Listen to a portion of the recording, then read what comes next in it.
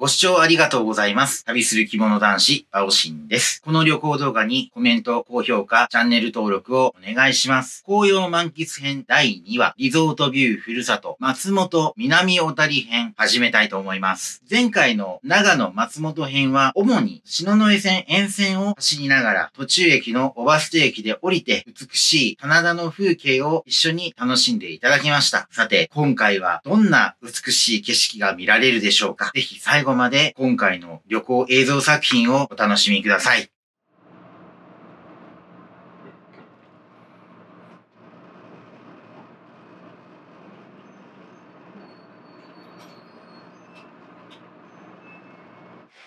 ということで、ちょうど中間地点と言ったらいいんですか？松本駅に着きまして、これから大糸線の沿線に入っていきます。ここからが多分本番だと思うんですよ。篠ノ井線もなかなか面白い路線だったと思うんですけども、ここから先の大糸線は車両の左側に北アルプスが広がっているので、どんな光景が見えるのか、本当楽しみです。それではまた乗り込みたいと思います。シートを回転させてみました。この対面式っていうのもなかなかおつなもんですね。松本駅出発です。今度は大糸線見てきます。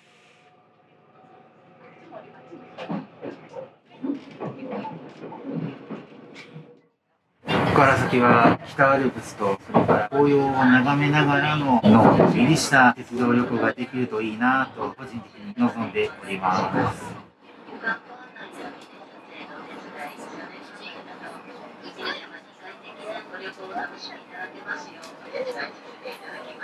お、上手の販売ではございませんので、ご利用の際には、アテンダントまでご利用時にご注意くださいませ。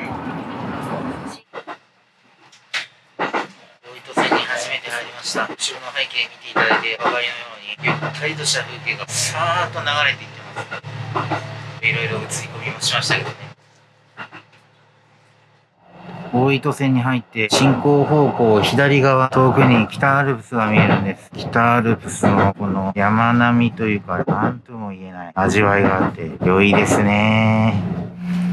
豊品という駅で一旦停車しました。ここは運行予定にある停車駅ではないので、ドアが開いたりとかしていないんですが、おそらく列車の行き違いのために停車しているんだと思われます。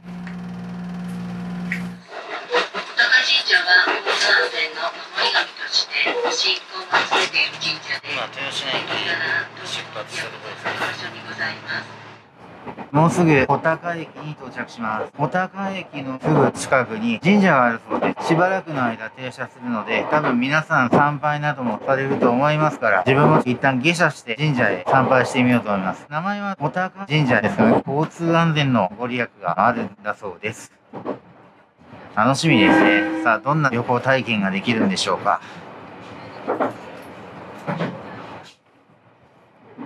アテンダントさんから紙の俳句がありました。この矢印に沿っていけばすぐたどり着けると思うんで行ってみたいと思います。ちなみに小高駅の出発時刻12時39分なのであまりもたもたしてられないかなっていう気はしています。というわけで小高駅到着です。紅葉がいっぱい見られるといいですね。見たいなぁ。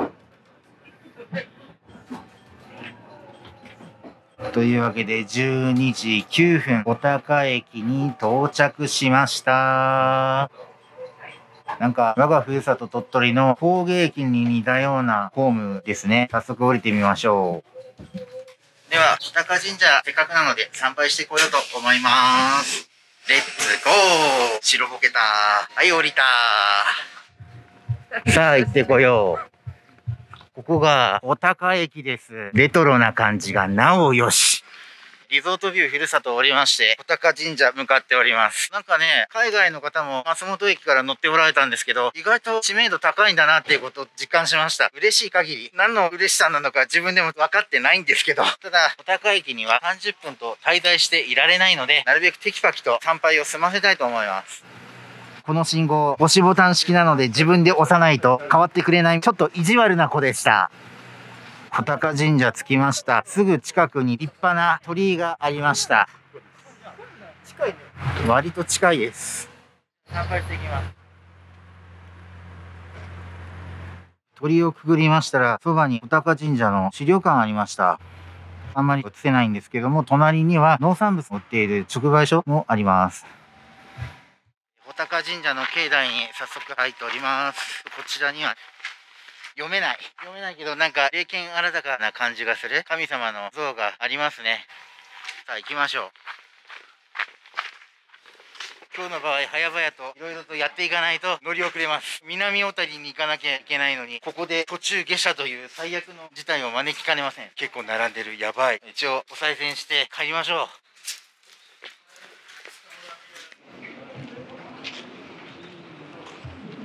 説明がここにあります。いつもと違いますね。2杯2拍手1杯ということになってます。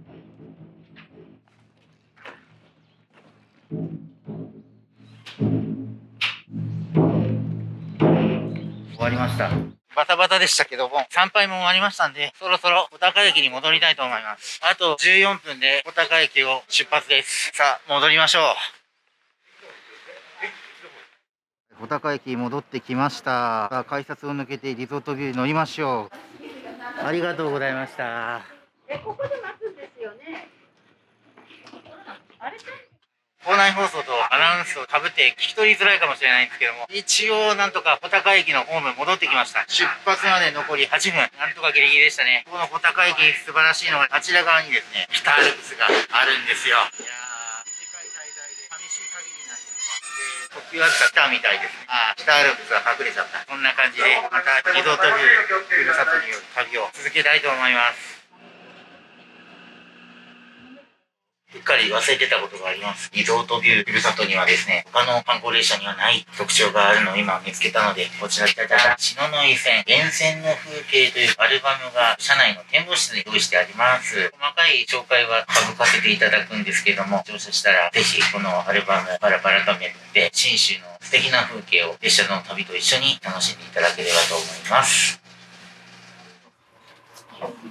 12時41分、小高駅を出発しました。なんとなくバタバタの30分間でしたけど、いい思い出ができました。これから車内でイベントが始まるみたいなので、一旦解散したいと思います。これから、新潟語りの実演が始まるみたいです。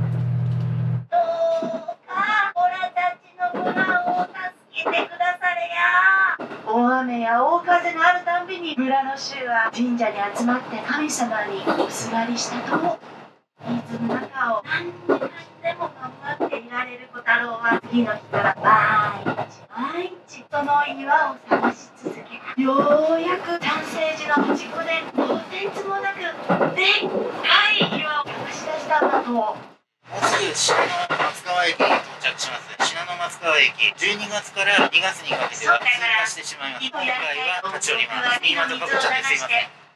村の人たちが助かるのなら私はこんなに嬉しいことはありません信濃松川到着です。ただいまの時刻が12時51分です。信濃松川駅出発です。湖の底の大岩めがけて矢のようにぶつかっていった。あっという間に信濃松川駅を出発してしまいました。すみません、民話語りとかぶっちゃって本当申し訳ないです。観音様の岩穴の奥深くに身を隠して、今もこの地の幸せを静かに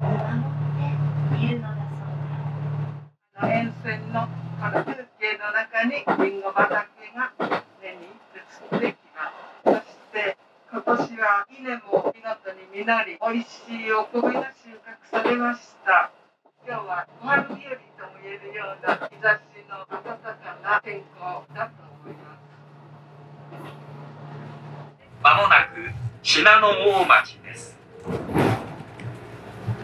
今渡っているのが高瀬川です。小太郎西流が隠れた仏崎の岩穴というのも見えてきます信濃大町駅に到着しました。13時1分、信濃大町到着です。大糸線自体が初めてなので、新鮮な気分ですね。ホームの向こう側に立派な紅葉が見えます。ここでしばらく停車するみたいなんで、一回降りてみようと思います。信濃大町駅のホームに泉小太郎という伝承のモチーフにした紙人形が置いてあるみたいです。降ります。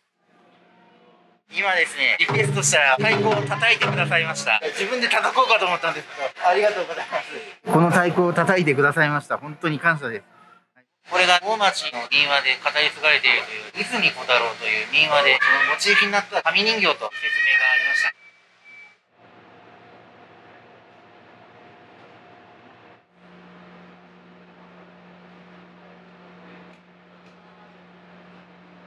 ご存知の方も多いかもしれませんが、立山黒部アルペンルートの長野側の玄関口はこの信濃大町駅と言われています。標高が712メートル。結構高い場所にあるんですね、この駅って。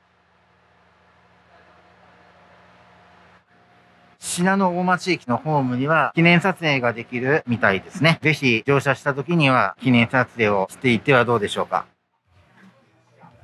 もうすぐ信濃大町駅を出発します。非常に短い滞在でしたが、本当にワクワクするものがいっぱいあって楽しかったです。次はいよいよ白馬駅です。聞こえづらいかもしれませんが、外で今見送りの太鼓が鳴っております。午後1時10分、信濃大町駅出発しました。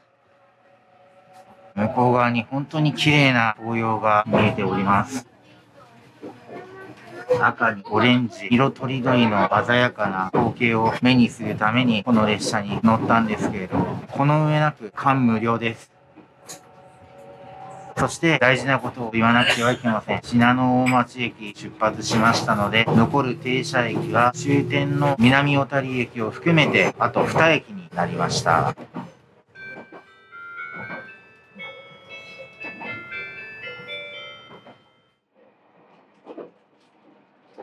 この展望室から見える線路と北アルプスを一緒に楽しむことができるっていうのはなかなかできない体験だと思います。素敵すぎますね、これは。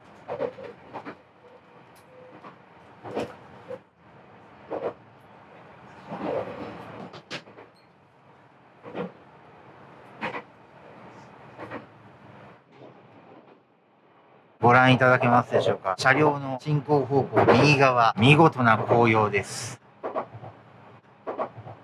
もう少ししたら映画やアニメで舞台になったと言われている木崎湖に到着します駅名を忘れちゃったんですけど停車するらしいんで木崎湖とか3つの湖見たいと思います木崎湖が見えてきました木崎川、ワカサギやブラックバスが釣れるフィッシングの盛んな湖でもあります。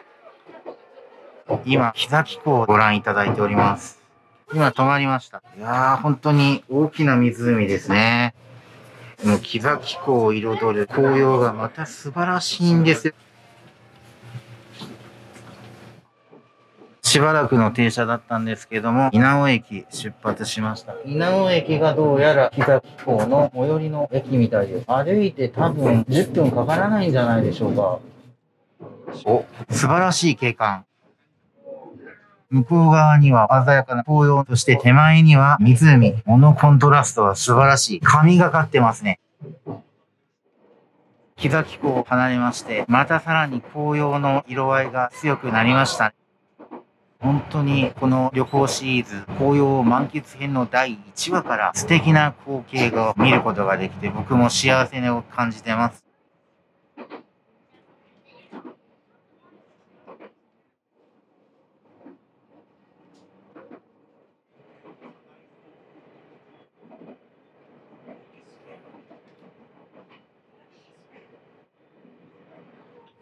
今、中綱湖を見ていただいてます。柳場駅という駅を通過しながら、あ、見えました。これが中綱湖だそうです。いや、綺麗ですね。紅葉とのコントラストが素晴らしい。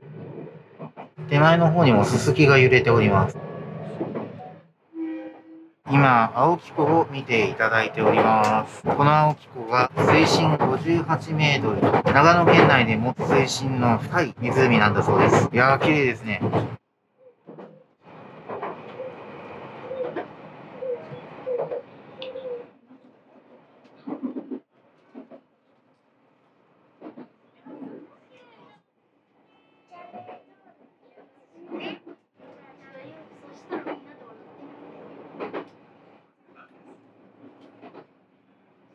もうすぐ白馬駅到着します。楽しすぎてしゃあないというテンション上がりすぎな時間があっという間に過ぎてしまいまして、もう白馬まで来てしまったのかっていう感想が強いです。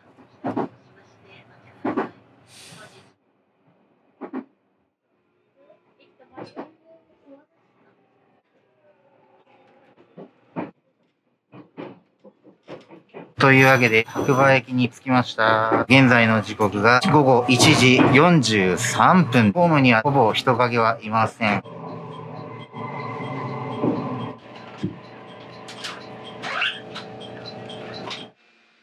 白馬駅に到着したんですけれども、列車の行き違いで10分ぐらい停車することになったみたいです。まあ、ゆっくりホームを見学しながら、その上で終点の南小谷までの旅を最後まで楽しみたいと思います。上りの回送列車白馬駅に到着次第リゾートビューふるさとも発車をいたしますまあ、まだ時間ではないんですが、もう乗り込んでしまいます。アテンダントさんにこちらの雪解けサイダーをお願いして買ってきました。1本200円だそうです。南小谷までの道中、これを飲みながら楽しみたいと思います。開けちゃいますか開けます。やったーいい音だそして、すいませんね、顎マスクで飲みます。うまい。午後1時59分、白馬駅出発しました。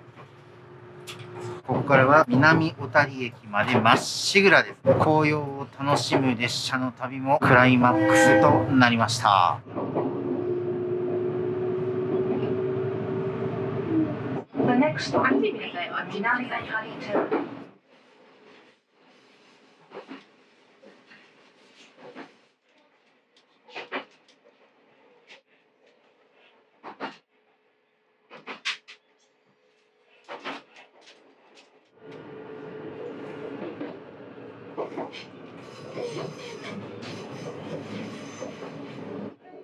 糸魚川方面はお乗り換えですお忘れ物のないようご支度ください長野駅から始まったリゾートビューふるさとの旅ももう間もなく終わろうとしています。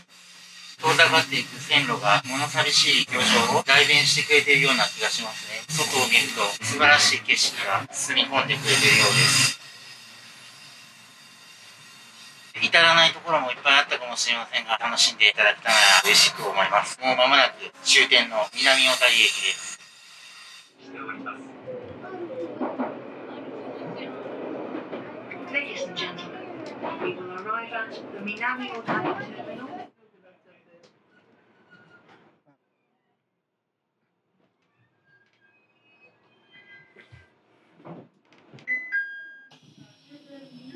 南小谷駅到着しました。